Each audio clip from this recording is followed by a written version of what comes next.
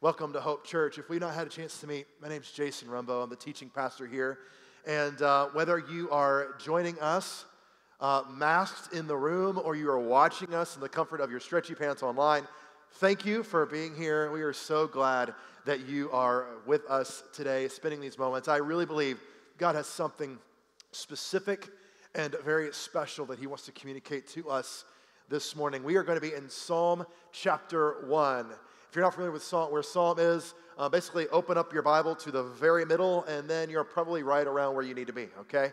So, Psalm chapter 1.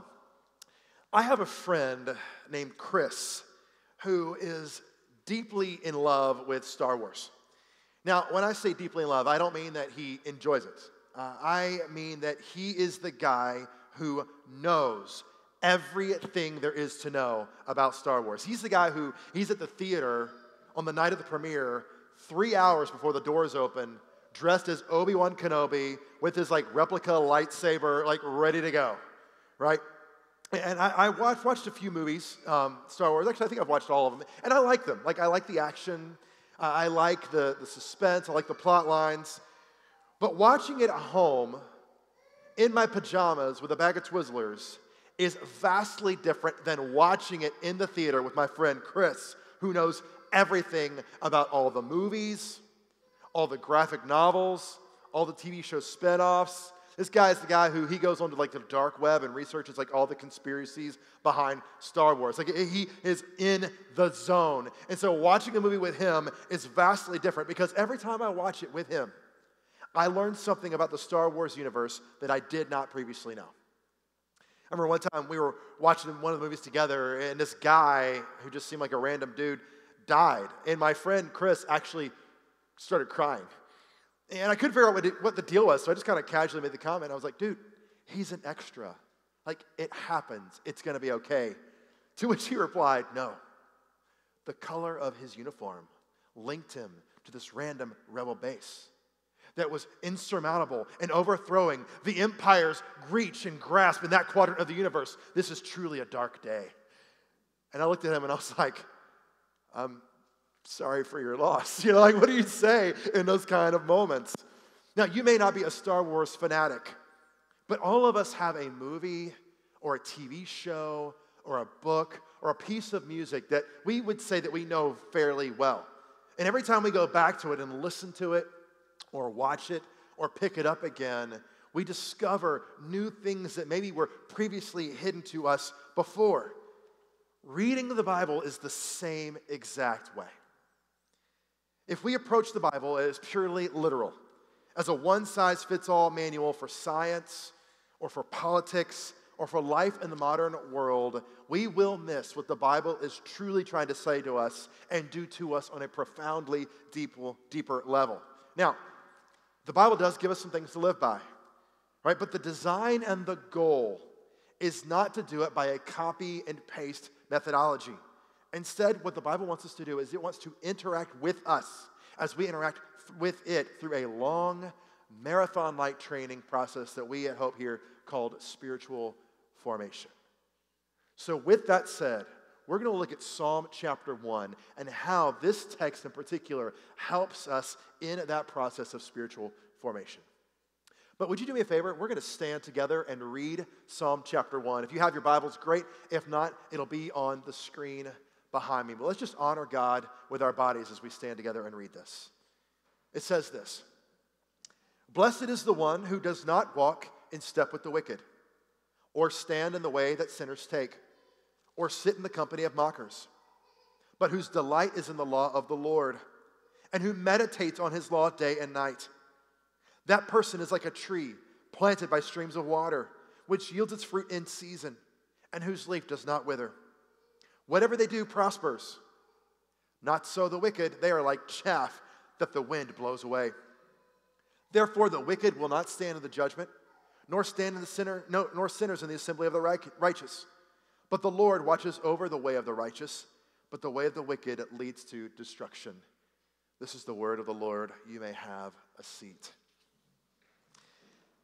Now, right out of the gate, this psalm has a very odd way to start. It says basically, how fortunate or blessed, or your translation may say, happy is the one who does not walk in step with the wicked, or stand in the way that sinners take, or sit in the company of mockers.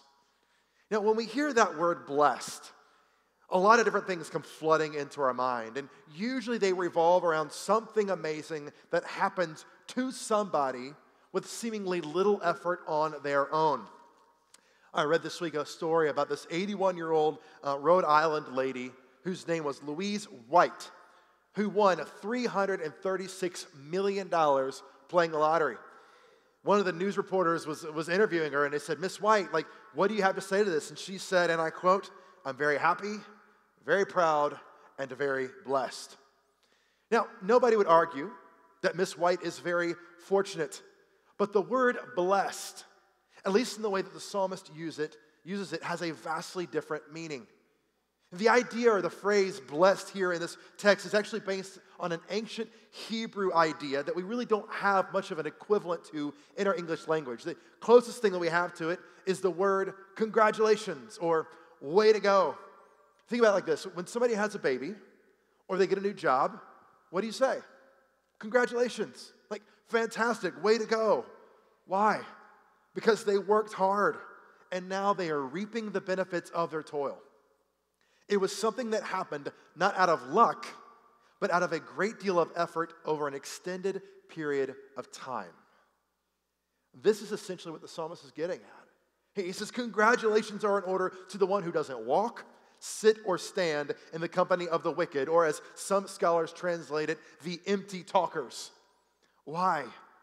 Because the writer knows, listen, that avoiding the company of those who are empty talkers, who literally have nothing of value to say, takes a lot of work. Right? I mean, we all get caught up from time to time in, in conversations that have really little to no value. I think this is a lot of what social media is right? Social media gives somebody who has really nothing of value to say a platform to say it to those of us who really don't care or those of us who care too much, right? The psalmist says here that the blessed one is the one who works hard to not just avoid being empty talker, but also to push against the temptation to allow empty talkers to drag you down with them. But notice that the blessed one in this text doesn't just avoid something, they're actually committed to something. Two things, in fact. The first is this they delight in the law of the Lord. They delight in the law of the Lord. That word delight, it's kind of a Shakespearean term at times. We don't really go around talking about how I'm delighted by you or by an individual, but it's actually a Hebrew word that means to love or cherish. It's the same word that you would use to describe a couple that are married and have been married for decades. It's that sense of delight they have with one another. It's not infatuation, it's intimacy. This is love that, that comes by only through walking of seasons of heartache, of loneliness, sometimes boredom, and tragedy with another person and still remaining faithful, steadfast, and immovable year after year. But, but notice that the, uh, the psalmist says that this delight is not an intimacy with another person. It's kind of strange. That he says it's intimacy with the law of the Lord. That word law is actually a word that um, in different translations could mean to use the Torah, which is the first five books of the Old Testament. It could mean to use the teaching of an elder or a priest or a prophet, or maybe the teachings of Moses. Or in this situation, it means the entirety of Scripture. So, kind of as a summary, here's what the psalmist is saying. He's saying essentially that the blessed one is the person who has an intimate relationship with the ways of God as found in Scripture. Now, right out of the gate, I want to address a common problem that I think many, maybe many in here, I don't know, have when it comes to this idea of delighting in the law of God. Sometimes what happens is we are so familiar with a text, or the cultural hurdles are so big when we read the text, or let's just be honest, the names are so hard to pronounce that we approach the scriptures with a type of cynicism or skepticism. or even boredom that it clouds our ability to delight in it while we're reading. Now, if that's you, listen, I get it. I mean, we were going through, we're going through the book of Genesis right now as a church. And this past, well, last week, week before last, I was reading through the, the text on Esau's descendants, and I fell asleep twice. So you're in good company, right? But I think what happens in these moments when we become overfamiliar or overwhelmed is that we forget what Paul tells us about Scripture in 2 Timothy. And it is God breathed. It is literally breathed out by God. Think about a marriage for a second. If on your wedding day you stand in front of the pastor and he asks you why you want to get married, and you respond, Well, I have to. The next question he's going to follow up is, Why are you getting married? I mean, if you're going into this with obligation or whatever, like, why even do it? I mean, those of us who have been married longer than five minutes know that it's not all sunshine and rainbows, right? Matter of fact, there are some days when being married is harder than not being married. However, if we go into marriage with the expectation that we are not going to get anything of value or delight from it, then that will be exactly what happens. It will, in a sense, become a self fulfilling prophecy. One friend of mine this past week put it this way I love it. He says, Oftentimes we place onto the Bible an expectation that we do not place on anything else in life. This morning, I got up, had a cup of coffee, and I ate a bagel with butter on it. And it was okay.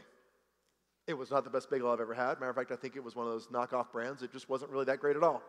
But I ate it.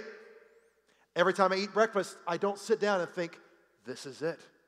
This is going to be the best breakfast I've ever had, right? I've started taking up running. It's not going well. Every day I go out, I don't think this is going to be the best run ever. Usually I think, not again. you know, it's hard. Now, sometimes we have a meal, a breakfast, or we go for an exercise or a run, and it is epic. But that's not every time. The joy and the pleasure of those things come from simply developing the routine and the habit of coming back again and again, and over time, seeing progressive movement. Now, if this is you, and you find yourself feeling overly familiar or overwhelmed by the text, let me just encourage you to do, do a few things. One, just pause. Just push pause for a second. And just pray and say, God, I, I'm struggling right now. Just to be honest, I'm struggling through this. Holy Spirit, open my eyes, open my mind, and help me see what you want to say to me. And then challenge yourself to think of the scripture less as a textbook and more like a love letter from a friend or a spouse. But notice next what happens with this delight. Notice, notice what the, the delighted person does. It says this, secondly, that they meditate on it day and night. Meditation is a word that I think sometimes has a little bit of a, a, baggage associated with it, especially in our Western context. Sometimes we think of yoga, or maybe you think of, I've got an app on my phone that helps me with breathing exercises called the Calm app. Like sometimes you think of, of those things, but that's actually not the word that's used here. A better sense of what the, the psalmist is trying to get at with, with meditation would be our word, marination. Now, for a marinade to be truly effective, it needs two things time and exposure. The longer something like a piece of meat or a pot of soup sits in a marinade, the more that marinade and the flavor of that marinade seeps into every part of the thing that is marinating. Now, here, here's, here's the truth in all this all of us are already in the process of marinating in something. Your mind is already filled with repetitive thoughts that you spend time ruminating over. Maybe it's a conversation with somebody at work or a family member. Maybe it was something, a decision that you made that you're like, ah, I shouldn't have done that, or I should have done it sooner or, or better. And maybe there's something else that's constantly on your mind that's the, the last thing you think about before you go to sleep, and the first thing that you think about when you wake up in the morning. I think that sometimes, a lot, or a lot of times, really, the, the things that we think about are, our, uh, that consume our thoughts are either regrets that we have about decisions that we made, or they're anxious thoughts about things that we cannot control at all. And ultimately, what happens? I mean, this doesn't lead to anywhere good. Right? A lot of times, as we're ruminating over those things, we feel ourselves getting anxious, stressed, worried. Right? It kind of leads, which affects our sleep, our physical health. We kind of go down this rabbit hole where eventually we're just struggling to get out of bed. You've often heard me say that what you give your attention to is ultimately what you become. For example, if you give your attention or if your attention is consumed with worry, you eventually become with a need to control the environment and the other people around you. If your attention is consumed with other people's opinions of you, you eventually become an insecure and lonely person. If your attention is consumed with holding on to the people and stuff in your life at all costs, you will eventually become a bitter person who is trapped in a prison of fear and loss. And the Bible knows this about us. It knows that we have this, t- this tendency to marinate or, or to meditate on these things. And so, what it does is it offers a vastly different solution, and it's the meditation on Scripture. Because this doesn't lead to death, it leads to life. It doesn't lead to stress and anxiety, it leads to joy and blessing. And in the words of Psalm 1, success as we hear from God and we learn to apply His words to our life. In a sense, Psalm 1 is the Bible's way of describing the ideal reader somebody who loves to read it, who reads it carefully, thoughtfully, with ongoing consideration, and who has a relationship with God's Word rather than using it for a spiritual quickie. Now, what's interesting is that as you read the Bible, it actually tries to force you into this posture. I mean, over and over again. I mean, sometimes when reading some of the stories of the text, the author doesn't come right out and say, okay, here's the lesson, right? Sometimes we have to spend time thinking over it. What does this mean? What does this have to do with me? Why? Here's why. Because the Bible anticipates that we are going to interact with it over the course of a lifetime, coming back again and again, not just moving on to the next thing. That's the expectation of the Bible, and that should be our expectation too. So here's what I want to do I want to spend the remainder of our time talking about how we actually do this. I mean, how do we develop this sort of posture? And I want to talk about technique. Now, for some of us, the question is this where do I start? I mean, last week we talked about how the Bible is a library of books different genres, different motives, like all kinds of things. Like, where, where should we start? The second question that people often have is, is when I figure out where to start, what do I do when I get there? I mean, what questions am I supposed to ask? What things should I write down? What translation am I supposed to use? When I was a kid, I remember oftentimes being challenged to have a quiet time. What was interesting was I was never really sure what to do during the quiet time. So I would spend my time trying to figure out how to actually spend my time and never actually spend my time reading the Bible, right? Ever, ever happen to any of you guys? Now, that said, there are a lot of different ways to approach it. Some of us can, can just read it like we're using our, our Bible reading plan as a church and kind of go through it. Some of us use like a, a Bible study to go through it. Some of us use a, like a commentary to read along with it or to use kind of like a lesson of sorts. And, and all of those are great. If you have something that you already use, I don't want to discourage you from that. But what I found a lot of times is people fail to read the Bible because they fail to have a plan on how they're going to read the Bible. So, what I want to do is, I want to give you this plan. It's something that actually is a method that the church has used for centuries. And it's personally what I do just about every morning when I wake up. And I believe in this method so much. Listen, that we're going to spend two weeks on this.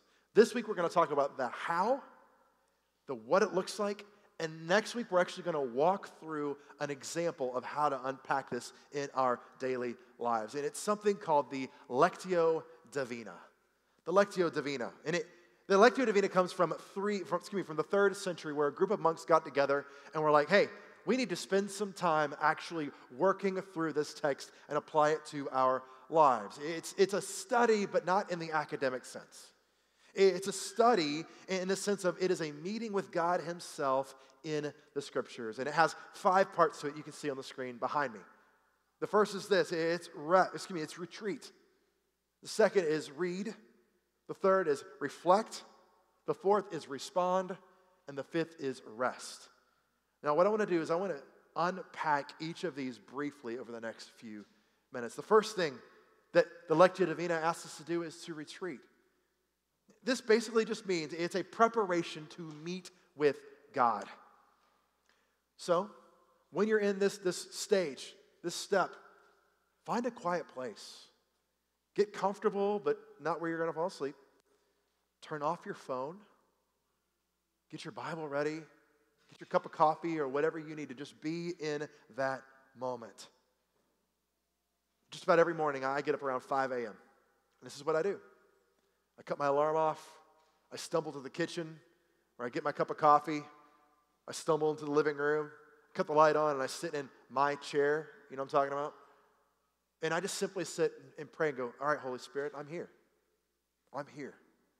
Teach me what you want to say to me in this moment. Sometimes I spend about an hour, sometimes more, sometimes less. I've just discovered for me, it takes me about an hour to be able to actually be in the frame of mind by the end to where I feel like I've actually met with the creator of the universe. You may be more, you, you may be less. But I don't cut my phone on. I don't check email. I don't check social media. I don't cut the news on. I just simply take a few deep breaths to wake up and I pray, ask the Holy Spirit to speak, and then I begin to read. Now, for you, you may choose to do this at 5 a.m. I know a lot of people are not early morning risers, and that's okay. Uh, you may do this before you go to bed. You may do this on your lunch break. The important part is not the time of day, but the time that you spend. Let me say it again. The important part is not the time of day, it's the time that you spend in these moments. After you kind of get to that space where you've retreated or kind of pulled away, the next thing is you read. You read slowly, you read carefully, and get this, listen, you read out loud. That may feel make you feel a little self-conscious, that's okay. But classic meditation literature, like the Bible, was designed to be read out loud. It, it slows the process down and it channels our focus. Studies in, in neurology actually show that when we read things out loud, our cognitive functions in every other area of our life begins to increase. Not only that, it helps us with our overall memory retention. So listen, don't rush. Take your time. Now, if you're not sure what to read, let me encourage you. You can start in the Psalms like we did with Psalm 1. You can start with one of the stories of Jesus. You can use our Bible reading plan that we've got as a church. If you're new to reading the Bible, I love this. Like, find somebody and ask them, hey, what, what is your favorite book? What, what do you like to read? And that helps you, one, because it gives you a place to start. And two, if and when you have questions, you know who to bug. Hey, I, I, you told me to read this. Now I'm stuck. What do I do? What does it mean? Right? It gives you an opportunity to have a conversation. Wherever you choose to start, listen, as you move through the text, pay attention to words or phrases that jump off the page and draw your attention in, in unique ways. If something kind of stands out to you, just pause. Don't rush through it. Turn it over in your mind. Write it down. Circle it, highlight it, underline it, whatever. But just kind of begin to think through it. And then when you get to the end of the passage, just pause and move on to the next thing, which is step three reflect. Reflect. Once you've read the chapter, ready? Go back and read it again. How many of you have ever watched a movie or listened to a piece of music and you listen to it and you're like, that was really good. And the next time you go back, you're like, whoa, I didn't, I didn't catch that plot line before, right? I didn't see that character before. I didn't hear that melody before. That ever happened to you? Happens to me a lot. The same thing happens when we read the text. When we go back, we go, oh, oh my gosh, I, I didn't catch that before. I didn't see that earlier. As you're doing this, think through questions like, what do I, what do I need to know? Or what do I need to do in light of this text? What does this mean for my life today? What issues does it seem to be addressing that, that are kind of similar to issues I'm going through in my own life?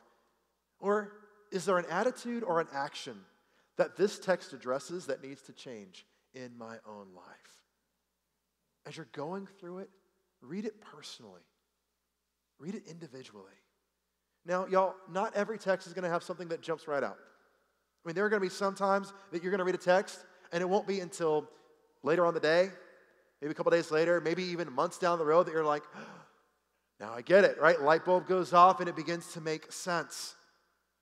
And sometimes you stare at the text and it makes no sense at all. And sometimes you stare at the text and you're like, that's great. Listen, regardless, that's okay. That is okay. I think this is exactly what the psalmist is getting at in this, this passage, where he says that the one who delights in the law of God is like a tree planted by streams of water who yield its fruit in its season. Have you ever seen a tree that was newly planted, or, or maybe it's just kind of like a sapling? It does not produce fruit the first year. Matter of fact, sometimes it takes a while for it to grow fruit. When that happens, you don't go out and dig up the tree or cut it down and go, ah, forget it, I'm done. No, you wait. You give it patience. You give it grace. You, you maybe bring in an, an, expert or somebody else to help you take care of it and, and figure out what the problem may be. You give it grace. Listen, if you read the text and you're confused or you don't get the point, that's okay.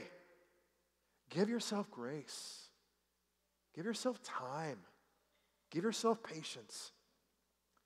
Success in reading the Bible is not necessarily walking away with an incredible insight or having felt like the sky opened and an angel spoke to you. Y'all, if that's success, most of my time in the Word has been a massive failure. That's not the goal. Success is this coming back day after day in the same humble posture of God, I'm here. I'm here. Teach me. Speak.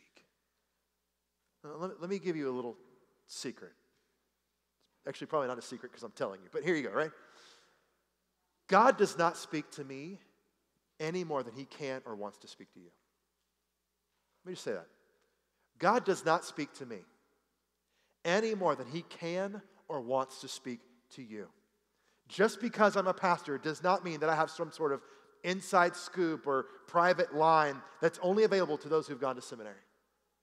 In fact, some of the most godly people I know, ones that God has spoken to in large, monumental ways, are people who have never gone to seminary, they've never been on staff at a church, and they've never been a quote professional Christian.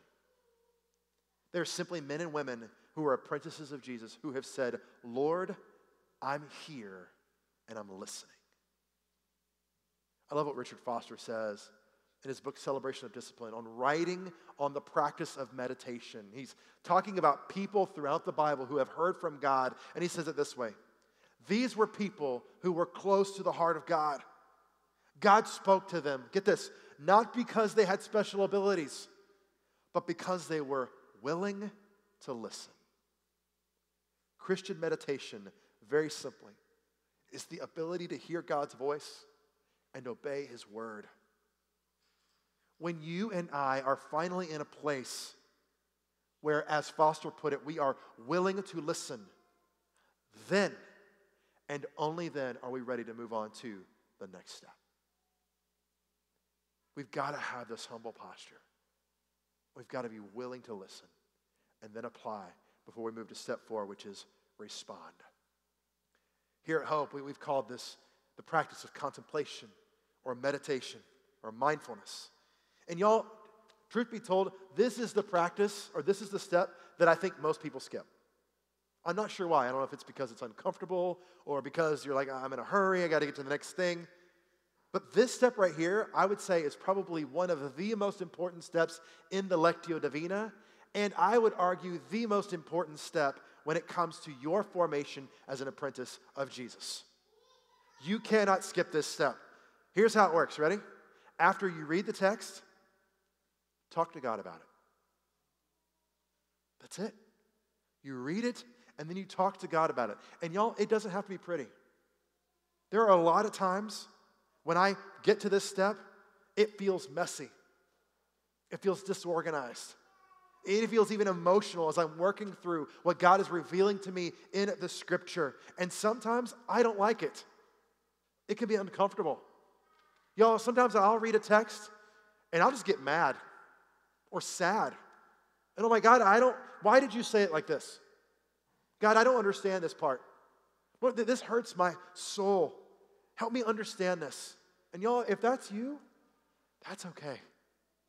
That is okay. The point is not to get all of our spiritual ducks in a row. The point is to respond to the things that the Holy Spirit is bringing to the surface of our heart and our mind. If you're confused, say that. If you're upset, tell God you're upset and why. If you are compelled to worship, worship. If the text brought something else to mind, tell God that too. The Lectio Divina, get this, is designed to foster intimacy between you and the creator of the universe. And we are all, y'all, we are all messy creatures. All of us. And so it's okay if this process reveals the messiness that is already a reality in your life. That is okay. After you've gotten to this point and you respond, you move into the last step, which is simply rest. The temptation many times is to kind of finish with step four. I read it, I prayed, I responded, it was good, and we pack up and we head on to the next thing, right? We got checklists to do, we got emails to respond to. Facebook isn't going to post to itself, right? We got to do this thing. But let me just encourage you after spending a moment reading and reflecting, just spend some time sitting still in the presence of God. Just being in His presence. Whatever you're feeling after having read Scripture, give yourself some time to just feel that in the presence of God. You may cry, that's okay. You may sing, that's great. You may laugh, but do me and do yourself a favor and don't skip this step because, y'all, this right here is how we learn to delight in and marinate in Scripture. That's how we learn this. It could be a few minutes, it could be half an hour. It's, it doesn't really matter. It, the point is not how long it is, the point is to simply do it and be committed to it. Now, a lot of times uh, we can get frustrated with the Bible, and I see it often. I think it's because when we go through this process, we read something and the Bible doesn't end up telling us something that we want it to tell us, and it doesn't do what we want it to do. If you're looking for, for the answer to certain theological questions, like did Adam and Eve ride dinosaurs, or a personal issue like what job should I take, or who should I marry, then you're going to be very frustrated very quickly. Now, and I understand that frustration, but at the same time, I think it's largely unfair. Because when we approach the Bible with those lenses, we are trying to make it do something that it was never intended to do. Here's an example my family and I love to watch the Great British Baking Show. Don't judge, okay? It's a great show. We love the whole thing, man. We, we love to watch them underneath that white tent, trying to get all those ingredients together and watch you know, the, how the, the heat and the cool and the acidity and all this kind of stuff come together to make this incredible thing that they're under a time constraint to get happen. It's amazing, and everybody in my family loves it except for one who shall remain nameless. And I asked him, dude, why don't you like this show? He said, oh, it's very simple lightsabers. I was like, lightsaber? Like, what, what, what do you mean? Here's what they said. You see, there's simply no action. There's no plot. No rebel alliance coming to take over the Great British Baking Show. Now, if the bakers were suddenly overrun by a band of rogue ninjas fighting on behalf of the Empire and then defeated by a lightsaber wielding sous chef, then I would watch. But for now, I'm just going to stick to Fortnite and The Mandalorian. now, y'all, I can, I have to admit, like, that sounds pretty good, right? I mean, I would love to watch that kind of show too. But to get frustrated, disappointed, or maybe even angry at the producers of the Great British Baking Show because Baby Yoda doesn't show up, it's not fair. Because that's not the point of the show. That's not the point. But so many times, this is how we approach the Bible. We read the Bible with the goal of finding a quick verse or two about how to fix our marriage, what career decision we should make, or how to defend our political choices, and so on. And while many of those things are addressed at various points in the scripture, that is not the point of the Bible as a whole. And if we read it that way, we will very quickly walk away disappointed and frustrated. The Bible is not a collection of meme worthy or pithy statements that we can post on our Facebook or Instagram feed in order to make it like, look like we're a serious follower of Jesus. No, the Bible is a literary work that requires time and exposure, a lot like a marinade. I heard one pastor say it this way The Bible is the kind of literature that one reads for a lifetime without exhausting the layered riches within.